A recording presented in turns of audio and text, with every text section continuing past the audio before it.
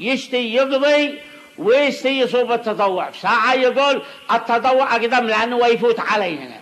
وساعة يقول القضاء ربما نموت وعاد عندنا في, في, المسألة والجواب عن صيام ستة أيام من شوال في نظري أنا وعندي أنه لا يشترط أن تكون عقيب الفطر. ولا يشترط أن تكون متوالية. لأن النبي صلى الله عليه وسلم قال من صام رمضان وأتبعه ستة من شوال. ولم يقول أنه من يوم ثاني العيد. ولم يقول أنه تكون متوالية. وبناء على ذلك فمن أراد أن يقضي فليقضي عقيب الفطر أو أي حين ما كان. ومن أراد أن يصوم فليصوم. ومن أراد أن يجمع بينهما فليجمع بينهما. ولا مانع أن يأخر الصيام. الأيام لأنه لا يشترط أن تكون عقيب الفطر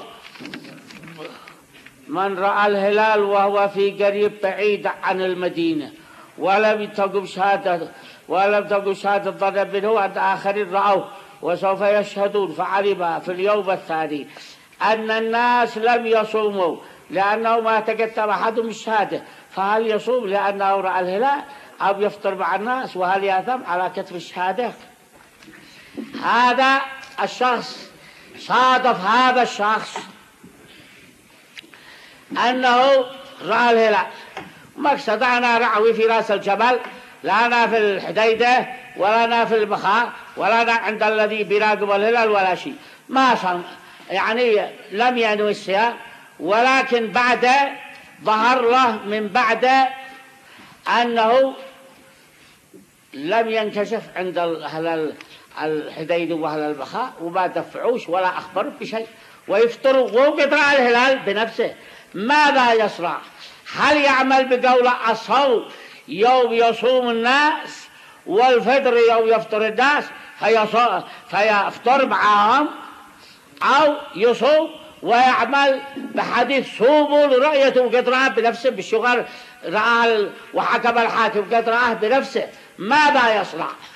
هذا السؤال سؤال جيد وقد سئل عنه السيد العلامة محمد بن إسماعيل الأبي فأجاب بأنه يصوم متكتما لأجل يجمع بين الشيئين فإذا صام متكتما فقد وافق حديث الصوم يوم يصوم الناس والفطر يوم يفطر الناس وعلي وافق حديث صوموا رأيت. يقول أنا قد ما أكلت شيء لأنني رأيت الهلال. ولكن في ظاهر الأمر لا يقولش للناس أنه صايم بل يخالفهم. لأجل المجتمع لا يشبه الظن؟ أو هو لا يسيء الظن بالمجتمع؟ هذا السؤال قد أجاب عنها السيد العلامة محمد بن إسماعيل الأمين بهذا الجواب الذي قلت لكم فيه وهو أنه يصوم متكتبا إذا كان الرجل مسافر فهل يجوز له أن يجاب أهله؟ إذا كانا مسافرين معا مع العلم أنه يجوز له أن يفطر ويقضي. لأنني سألت عن هذا سئلت عن هذا فتوقفت. عند الإجابة فقال إذا كان يجوز الإفطار فكذلك يجوز الجماع. لا مانع لمن قد كان مسافر هو زوجته لكن يتكتبوا مش يخبروا الناس. بس فقط. وإلا فهو جائز للرجل والمرأة ما داما مسافرين لكن مش يخبروا الناس فعلنا فعلنا كيف نجمع بين الحديثين؟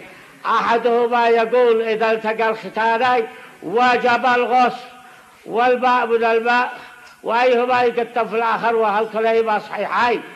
حديث الماء من الماء صحيح لكنه يدل على أنه يجب الغسل عند التقاء الختانين بالمفهوم.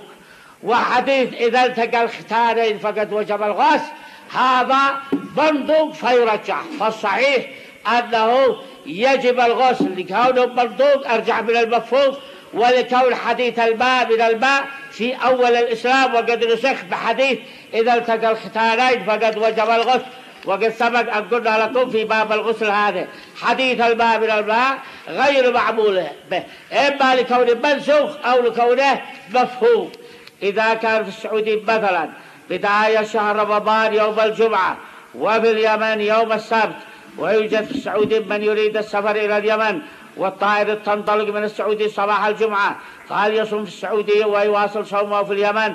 ولو كان أهل اليمن مفطرين أم لا يعني أنه يعامل نفسه معاملة البلد التي جاء وقت الصيام وهو فيها.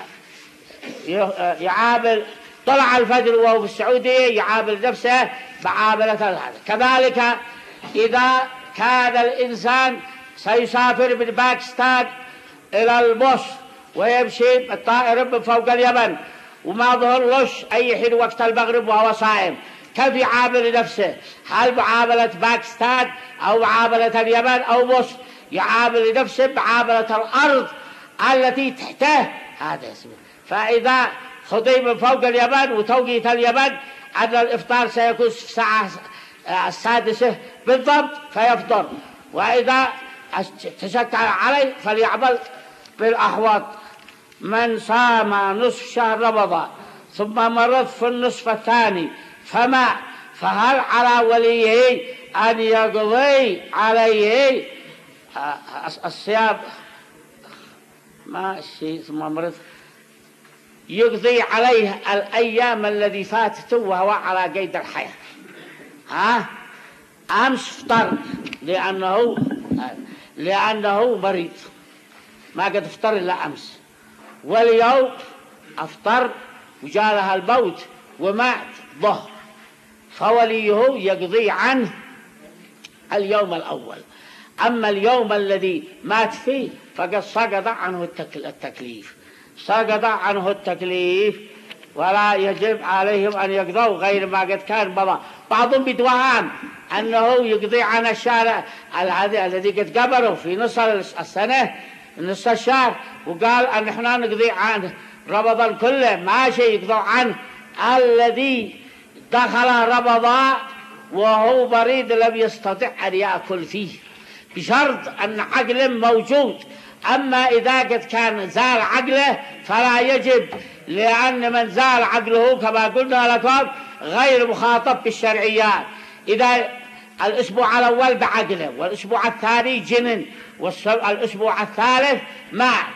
نقضي عن الأسبوع الأول الذي قد كان فيه برد وهو يعني يعني كامل عقله أما إذا قد زال عقله فلا.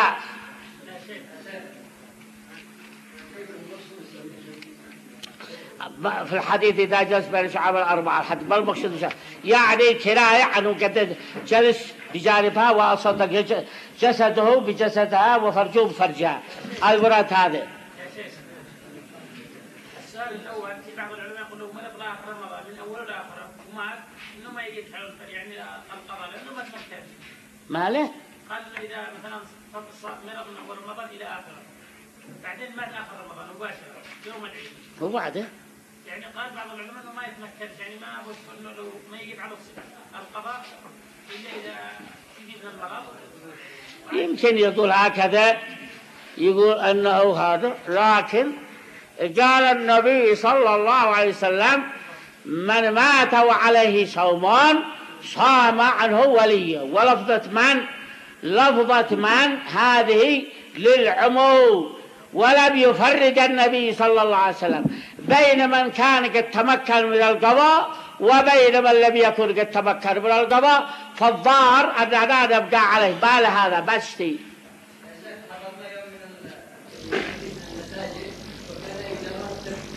وقد كلمة؟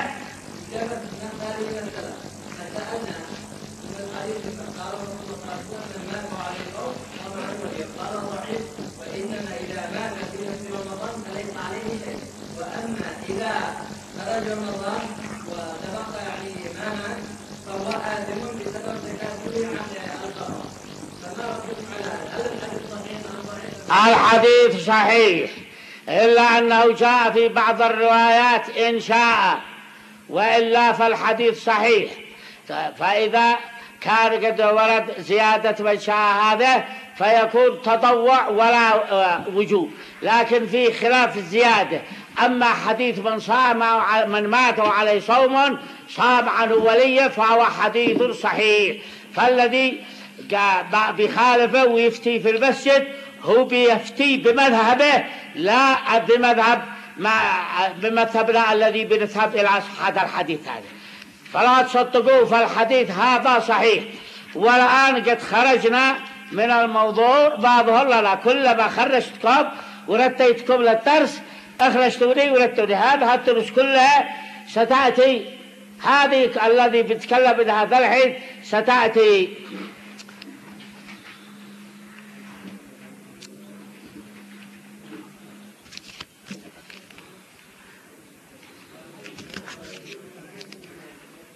الحديث يا شيخ يكون هنا في البخاري ومسلم. قلت ما هو؟ يمكن أقول لكم صحيح. هذا يريد أن يؤيد مذهب الإمام الهادي لأن مذهب الهادوية الزيدية أنه لا يصوم أحد عن أحد وإنما يطعم عن كل يوم مسكين فهو يعظ الناس ويفتيهم بمذهبه واللازم أن كل إنسان لا يفتيش يعني ويوهم الناس أن هذه الشريعة. يقول قال بعض العلماء كذا وقال بعض العلماء كذا أنا مذهبي الشخصي كذا وأنا أرجح كذا وكذا من يشتي أن يتبع المذهب الشافعي فليعمل به ومن يريد أن يتبع المذهب الزيدي فليعمل به ومن يريد أن يتبع المذهب المالكي مثل أهل الجزائر وجدر القبر وغير هذا الذي يتمذهب بالمذهب المالكي فعلى هذا.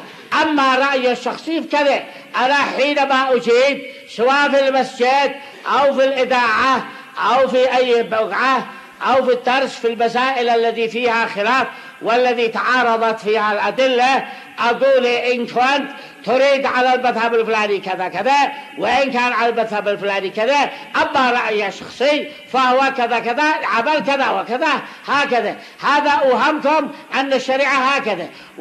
وفلت الحديث الذي أخرجه البخاري ومسلم. وعمل هذا إنما الخلاف في لفظة إن شاء. قال بعضهم حديث الزيادة الصحيحة وبعضهم قال الزيادة غير صحيحة.